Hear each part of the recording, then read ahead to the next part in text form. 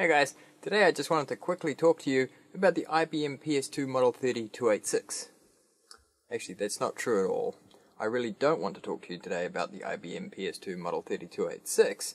It just so happens I was filming another segment and this machine died, so I ended up doing a repair and I thought, hey, it's a good time to actually cover it. Now I have a special place in my heart for these machines. This, these Model 3286s were the first computers with VGA color displays that I ever personally used. So, yeah, I'm quite fond of them. However, one topic that comes up a lot is they are quite sought after for sort of gaming PCs because, you know, IBM, big power switch, and they have the ISA bus, which means you can use things like Sound Blaster cards inside them. Now that's all good and well, but one thing I want to make sure that you're aware of is that, I mean, this is still a 286. It does run at 10 megahertz, but you're still talking about 1980 CPU, and if you're going to be playing games that are making really good use of that Sound Blaster, there's a good chance that they may be expecting slightly better hardware. Uh, one example of this was Jill of the Jungle, which I actually thought would run fine on this machine, just being a platformer, and it does run, and you can play it, but it just felt a little jaggy and a little slow, and yeah, I mean, if you want Sound Blaster and all that sort of stuff, I really recommend a 386 or a 486. Um, this was IBM's low-end model at the time, and even the years following where it was still selling in businesses, it was still a low-end machine. Now it came with a high price, mainly because, you know, IBM, you get the support, it probably came as part of a solution, um, but it was still being affordable for small businesses, and you quite often see these in New Zealand with a lot of companies, you know, they, they want to get an IBM piece of the pie, the reliability, the support, all that sort of stuff, but didn't really want to spend huge amounts of money on their higher end machines.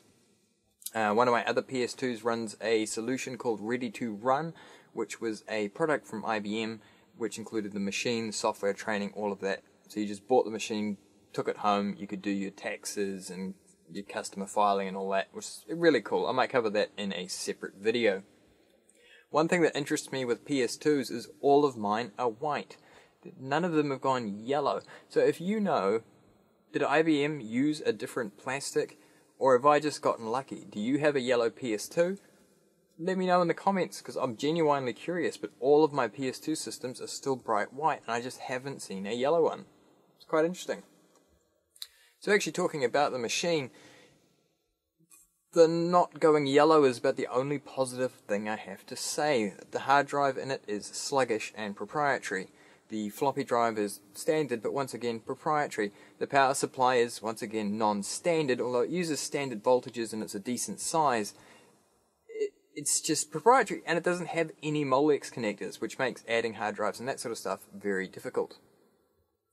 It's also got one of these Dallas real-time clock modules. So for it to keep the settings, like your time and date and the hard drive settings, you're going to need to hack this or maybe you'll get lucky and a new old stock one on eBay, maybe the battery still works in it, might get lucky. But my solution is always actually to hack into these and put your own battery module in them, so that way you don't have to deal with it later. The onboard video is VGA, it's nothing too exciting, it works, but you know, that's it. It's not, as far as I know anyway, it doesn't have any XGA acceleration or anything like that. The memory, once again, proprietary. There are 30 pin SIMMs, and I did read something on the internet that talked about how you can actually possibly modify standard SIMMs to work in these systems. But really, by default, you're probably just going to end up using whatever RAM came with the system that you got. So, I mean, if you do get an opportunity to find a PS2 Model 3286 that's got one more than 1 meg of RAM in it, and it's not wasting an expansion slot to do so, I would certainly grab that because I think that's kind of interesting. However, the RAM isn't really a big issue. When you're still talking about a 286 era machine, 1 megabyte is generally perfectly fine, because you'd only really want more if you're running something like Windows 3.1 or an extremely big Lotus spreadsheet. I mean, to be honest though, I think it's really Windows 3.1 would be your main reason for wanting more extended memory, and that's just going to run slow on this machine, so really the 1 meg that you find in most of these systems is perfectly fine.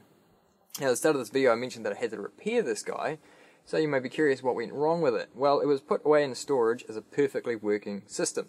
I had done repair work on it, but it was perfectly working. I pulled it out of storage, and the first thing I got was a 2401 error, which from memory is the VGA subsystem. I was also getting very bad output on the VGA port, and so I decided to switch the motherboard. Now, that seems like a bit of an overkill, but at the same time, there are SMD components these motherboards have underneath that you don't even see until you remove the motherboard. And with the type of problem it was and not being able to visually see any faults, it would have taken me a long time to diagnose, and I'm not exactly 100% up on my skill level with SMD work yet, so I figured leave that for another day. And I, in a recent collection, I acquired a spare Model 3286 motherboard, so I thought it was a perfect opportunity to test it and potentially get the machine back running again. Now first we've got to rip out the original motherboard, just disconnecting everything, pulling out the real-time clock and sliding the motherboard out. Here's the new one going in. You notice it's a different revision of the same motherboard. Uh, I didn't know they made different revisions of this, but apparently they did. This one doesn't have the tantalum capacitor, which is a nice bonus. Now I'm just removing the original Dallas real-time clock and fitting the one that's already attached to my battery case. The real nice thing with this is it's going to take my settings with it, so I won't actually have to use the starter disk to boot the system up. Okay, so with everything all hooked up, it's time to hit the power and see if we boot. And sure enough, it booted absolutely fine. The next problem I had, however, is I went to install software and started having general failures. It didn't take me too long to see what the problem was here, the main hard drive having megabytes of bad sectors. It was absolutely ludicrous and the drive was just unusable. Now with most drives of this style and capacity, a low-level format is often what's called for, so I used IBM's utility to do this on the drive. The unfortunate thing with this was, is I get the feeling the drive actually was just faking the low-level format because this did absolutely nothing for the reliability. This drive, even after a fresh DOS install and format, just continually kept misbehaving. I don't know how when sitting in storage it develops so many bad sectors. I'll look at the drive at a later date. For the meantime, we're going to go with an aftermarket solution. Now this is a Seagate ST125, just a normal MFM drive, and we're going to pair this up with this Procom RLL controller that I found.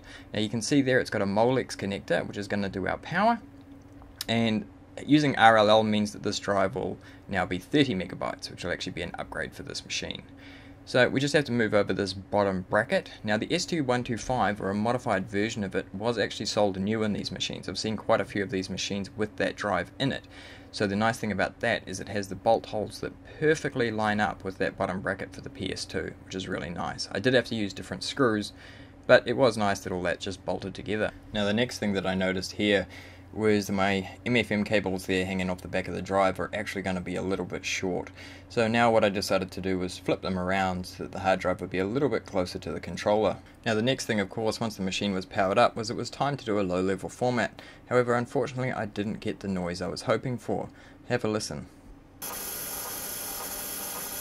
Now this controller reported that this entire drive was all bad sectors, so I decided to go through my box and see what other drives I could find. Now this Kalok octagon drive here was a perfect match. It had the right screw holes, the LED was in the right place, it was rated for RLL usage, and it had been tested by the previous owner. So let's see what that sounds like.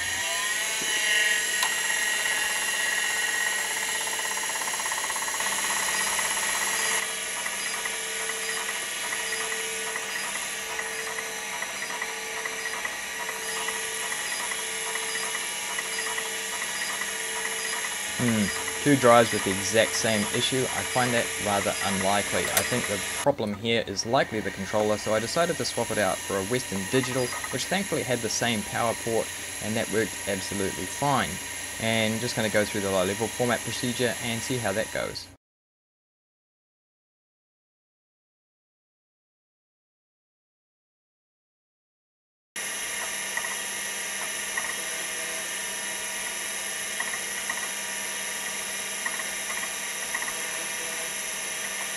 Alright, winner winner chicken dinner. Now, one thing is, I prefer the drive to be in the right hand bay if possible because it gets slightly better ventilation from the power supply and it's going to cause a little bit less heat soak around the electronic components and this drive was running particularly hot. Now thankfully I found another set of hard drive cables which were slightly longer so I decided to flip them around and you can get a good look at this little clip-in mechanism which actually isn't half bad. So during the low level format, I was worried that I got the interleave setting completely wrong. Now interleave is quite important. Basically the idea is, is that when the computer is ready for the next sector on a track, you want it to be at the point where it's just about to hit the drive head. If it's already gone past, then the drive has to go around a whole other revolution just to read that sector, and on a drive with 26 sectors per track, This could make file transfers very time consuming. So what I'm using here is Norton's Calibrate utility. It's part of Norton Utilities version 6 and it will actually do the testing for us and give us some nice bar graph results. Alright, so trying out an interleave setting of 1, this is basically the sectors are one after each other, we see that the drive now needs to do 26 revolutions just to read one track. With a 2 to 1 interleave, this gets slightly worse with 27 revolutions to read a track, 3 even worse, 28, 4 just as bad at 28, and 5 only 5 rotations. So that's our key setting here. We need to be using an interleave of 5 to get the absolute most performance from our hard drive. Norton Utilities will then make this change for me without deleting any of my data. It was a bit optimistic on the time. I can tell you that this actually took 4 hours. Alright, so all back together now, and I took the time to install a few games and a bit of software in my little networking solution. And I should also mention here that the reason that I used an 8-bit controller was just to make sure that it absolutely wasn't going to conflict with the internal controller that was in the IBM. The 8-bit cards tend to use completely different resources and they have their own BIOS which makes them a fairly safe option. And I can honestly say that whatever technology IBM used for their hard drive controller, it is absolutely no slower than the original drive. In fact, to be honest, it actually feels faster to me than that Western Digital one that was in there before.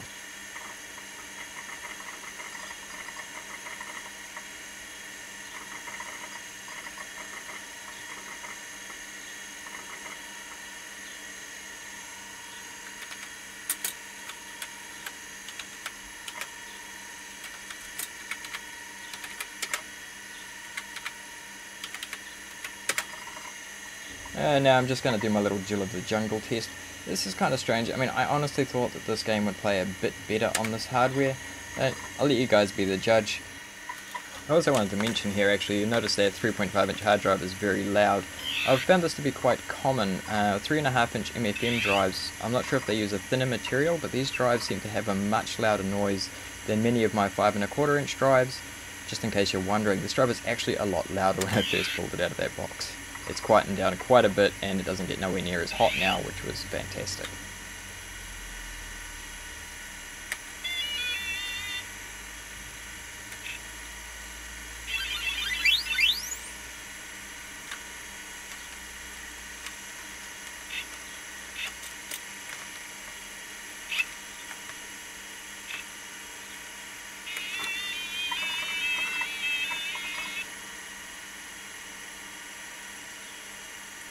Well, I hope you guys enjoyed that quick look at the Model 3286.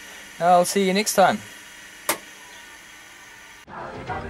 Well, you're going to PS to it with the IBM PS2.